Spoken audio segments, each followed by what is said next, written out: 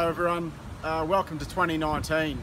Um, Queensland's really going through an interesting climatic period I guess. We've got amazing floods happening in the north of the state, some welcome rain in some areas in the west, while we've still got some drought going on um, in other areas and a fire ban in southeast Queensland as I'm talking. So it's a strange old world out there, um, but the, what, the best thing is that there's still opportunities for us to get outside and experience what uh, nature has to, um, to throw at us. Personally, I've been doing a bit of paddling lately. Uh, my wife and I bought a tandem kayak, so I'm happy to say that Laurel and I have been out paddling a little bit lately, and I also did a little trip from Victoria Point over to Coochiemudlo with my mate Dicko, and um, that was an awesome Australia Day afternoon activity.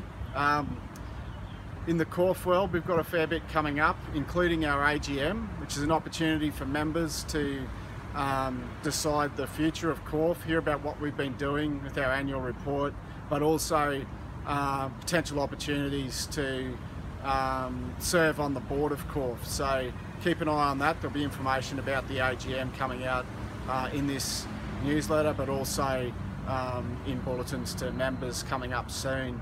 And just before the AGM, which will be on the 14th of March uh, here at uh, Milton, we also have an outdoor rec forum, which everyone's welcome to attend to hear about what's going on in the world of outdoor recreation. Another big event that's coming up is uh, in our Nature Play project, um, the Childhood Summit, which is a national summit all about what childhood is today, and that's going to be at the end of March.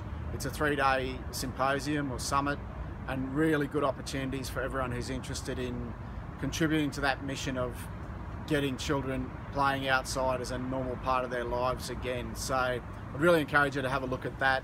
Uh, tickets are available right now for the Childhood Summit uh, if you have a look at the QORF webpage or the Nature Play webpage. Um, also happening uh, is the Adventure, Australian Adventure Activity Standards. We had a pre-release of those uh, just before Christmas and there's a bit of work happening at the moment around the uh, Australian Adventure Activity Standards. So if you're interested in that, there will be a couple of webinars about the um, what the Australian Adventure Activity Standards uh, could mean for you and what's what's happening with that. And that project's due to be wrapped up by September this year. So um, there's a lot going on. Uh, there's a lot of information in this newsletter, but also on our website. Uh, but if you have any queries, feel free to pick up the phone and get in touch with us and let us know what's happening in your part of the outdoor world. I Hope to see you soon, particularly anyone who's out there having a paddle. Bye now.